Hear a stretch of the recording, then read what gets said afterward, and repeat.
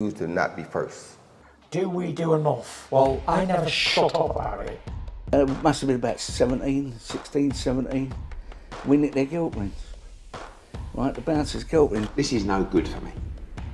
That's the reality. If you want the honest truth, and I see it every day.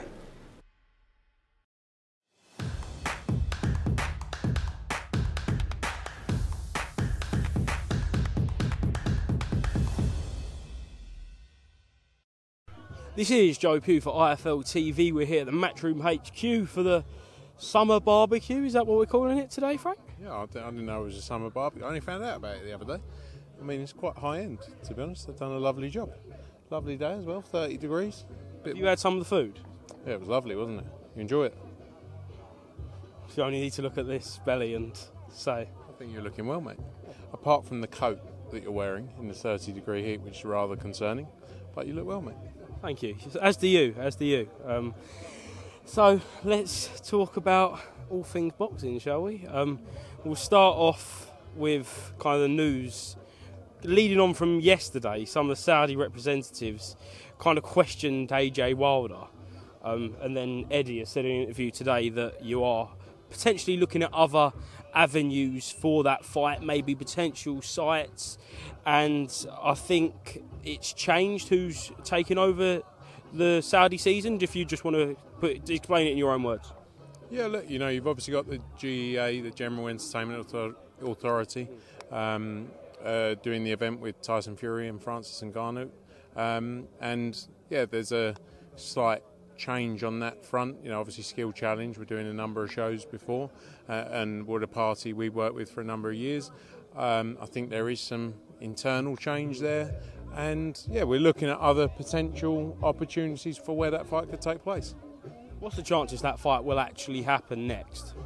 I don't know. Look, I've spoken about it a number of times in the past around whether or not, like, we all want that fight next. Everyone's everyone's got an, uh, an interest to make that fight next time on all sides. Um, it just, you know, the deal needs to make sense and be right for everyone. Um, and that's the, you know, that's the question mark at the minute. Um, you know, we're obviously banking on what we were being told in Saudi.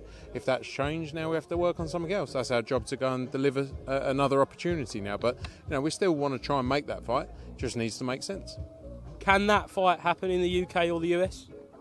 Um, I honestly think it's more likely that fight in the US than the UK, financially. Um, but you know, again, there's still work to be done. I think when numbers have been floated around on all sides, it gives a perception as to what the value of the fight then is. You know, and um, we need to then go out and work to deliver a value close to that to, to keep the fighters happy. Is there a chance that fight could land in Abu Dhabi? We know you've got a working relationship with them. Possibly, yeah, possibly. You know, we're working on a couple of options in Abu Dhabi for December now. Um, got some discussions ongoing with them, so yeah, potentially for sure. If that fight doesn't materialise, say within the next two to three weeks, will we see Anthony Joshua in the ring this year? Um, like I say, the plan is to get him out December, January for sure. Um, but that's, I think, we have to see how the next, probably the next week go on these discussions, and then start. At the same time, we're thinking about what else could we do. But you know, December or January is definitely the plan for him. If it's not Wilder, has there been any discussion in any potential opponents? Uh, there's been internal discussion around four or five different names. Um, you know, look, he's fought a number of the heavyweight, the big heavyweight names in the sport. Um, but yeah, there has been some discussion internally. Got a conversation on Monday as well with Anthony, uh, a meeting with him. So you know, from there, I'm, I'm sure we'll have some updates. Moving on to Liam Smith, Chris Eubank Jr. I know you've done a few interviews on this, but how much can happen in a week as far as negotiations for Chris Eubank Jr. and Conor Benn? Uh, look, I think it's a natural fight. I think it's a natural fight that makes sense. I think it's the biggest fight out there. nothing comes close to it, um, and that's definitely our intention to try and make that fight happen. It's not done, but there's a number of conversations ongoing. But yeah, no, nothing rivals the scale of that fight. Is that fight definitely happening in the UK? Nothing set yet. Nothing set yet. And it, look, with all these things, anything's possible. You know, to say definitely until it's signed, we've uh, we get we've been sort of we've shot our, shot ourselves in the foot a few times by saying yeah this is done that's done and it doesn't get there until it's signed sealed delivered let's wait and see but it's a fight we want to make because I think it's one of the biggest fights in British boxing um, up there alongside Joshua Fury See what Frank Warren said about that fight? no He said that it's a complete nonsense and he proposed Zach Parker for Chris Eubank Jr. next as a better fight. yeah of course he would I mean how delusional why would Chris Eubank Jr. fight Zach Parker who's just been beat by John Ryder like and hasn't boxed it no disrespect to Zach Parker but like do me a favour Frank Warren said it was because he's got a sore hand, so he's coming off of a hand injury. So Zach Parker. So it's a fight that would look kind of in favour of Chris Eubank Jr. That's what he said. But why would he fight Zach Parker? What has Zach Parker got to offer Chris Eubank Jr.? With all due respect, like that's nothing against Zach Parker. I don't promote Chris Eubank Jr., so I'm not. But if I was representing Chris Eubank Jr., I would say, why on earth would we fight Zach Parker? Like, small hall promoters making silly comments. We'll move on to something that happened yesterday involving a fighter that you have represented for a very long time in Fabio Wardley. Hmm. What did you make of that kind of brawl with David Adeleye? Yeah, look, it's a shame to see, especially when it's like, look, we've seen a number of times over the years fighters get at it, but when it's someone who's, you know, not even the, I don't think it was even Adeleye who punched. I think he got an elbow, didn't he, in the face, Fabio, and then he got and he got a punch. But it's not good to see because it could delay that fight. There's there's got to be a level to, you know, it's all fun and games, but you know, ultimately you want fights to happen, so don't do stupid stuff like that. Um, you know, you don't see it that often like that. You don't really see it. Um, so I was quite quite shocked. You know, I know there's always been. We had David obviously turned up with a few of his mates when Fabio was boxing on the undercard of AJ in April, um, and you know it was kind of civil. It was just a bit of conversation. But as always with these things, it's the people around more so than the fighters themselves. You know, the fighters' job's in there to go and get a bit, you know, go and do the business. But people want to make headlines. People want to, you know, be the man. Um, but yeah, shame to see, and ho- hope Fabio's all right. And I'm not sure whether they're still. I don't know whether they're still whether he's ready for that fight. I mean, the cut didn't look too bad, but I don't know what's happening on that end. That's a matchroom card, how worried are you about that fight taking place? Obviously, we saw Fabio go to the ground. I'm not sure if it was due to the punch. I think it was a bit off balance. We see the blood. There was blood on the arm, blood through the eye, and then some people are saying. I think I think Dec Taylor put a article out about maybe the jaw and then the finger. So it's not really looking good, is it, at this stage? No, look again. I'm sure there'll have to be some kind of uh, discussion around, you know, what what the whole situation. Is. Like, I don't know. I don't know whether he's medically fit. I'm sure if he's medically fit, the fight will happen. If he's not, then it will be delayed. But you know, a bit of stupidity, really. As far as you know, is this just a one-fight deal for Fabio Wardley, and could we see you continue to work with him in the future? I'm not aware, to be honest. I don't know. I don't know. You know, look, we've had a great relationship with Fabio. Would love to continue working with him at some point, but we have to wait and see. Um, but again, maybe maybe yesterday's antics changed the whole situation. Who knows?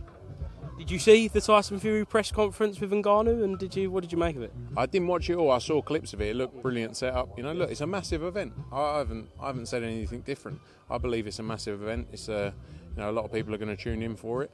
Um, you know, the, the only thing I've ever said is that it's it's not it's the best of one sport going in against with the best of another sport. So naturally, it's not as competitive as a uh, as a boxing fight would be between two of the best boxers. So, but you know, look, it's going to be a massive event, huge scale event, and uh, they're both making a lot of money, and they deserve to in a dangerous sport.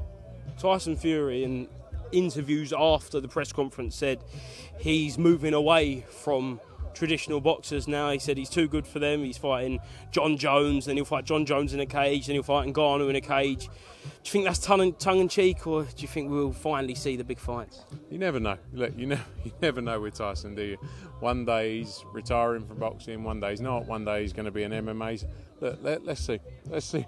Let's see what he decides to do.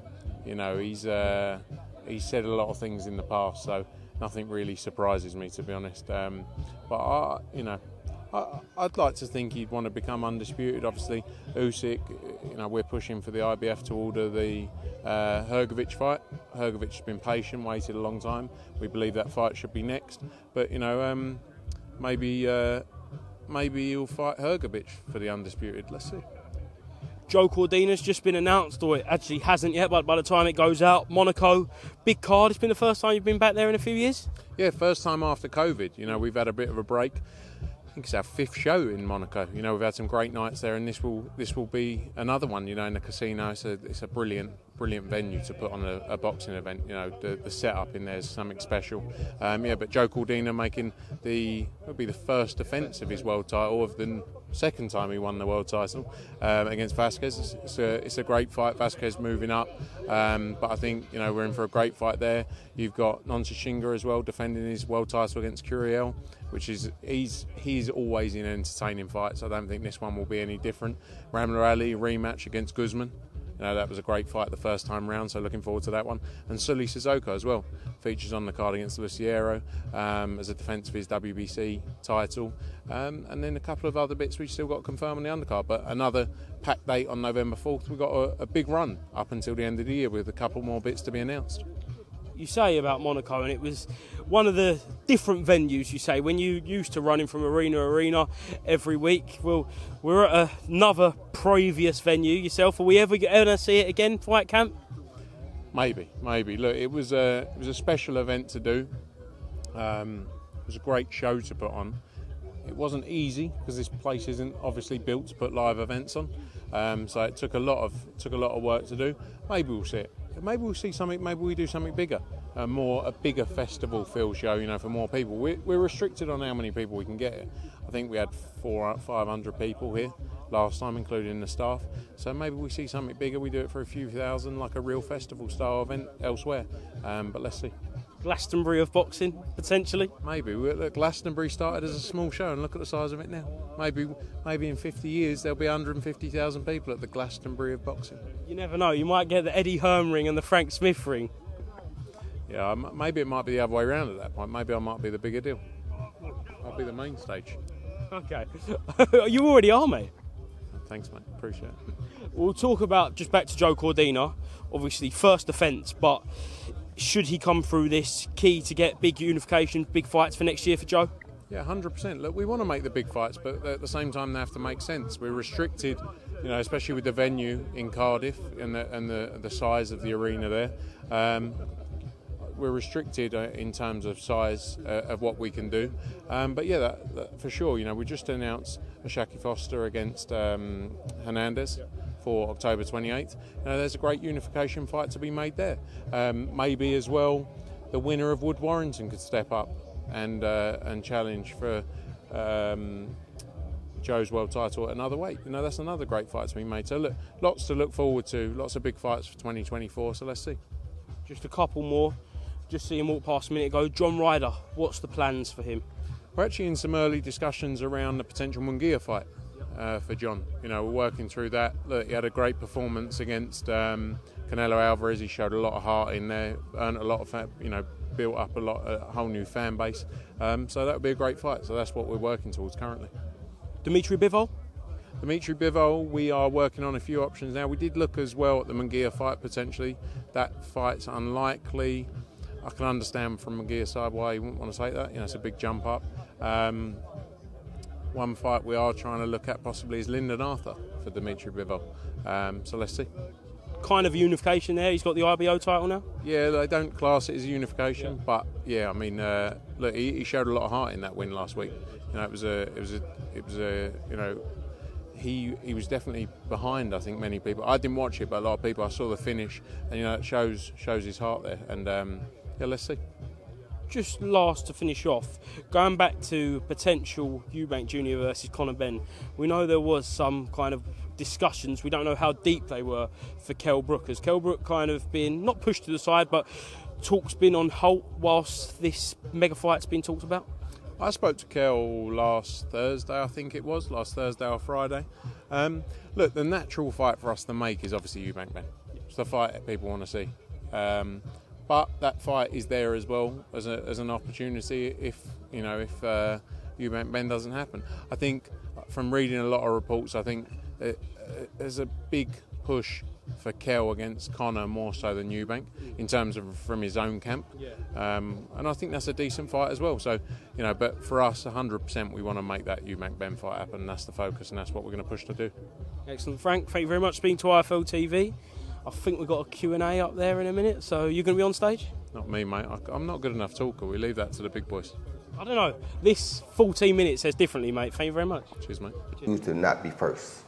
Do we do enough? Well, I never shut up about it. Uh, it must have been about 17, 16, 17. We nicked their guilt rings. Right, the bouncer's guilt ring. This is no good for me. That's the reality. If you want the honest truth, and I see it every day,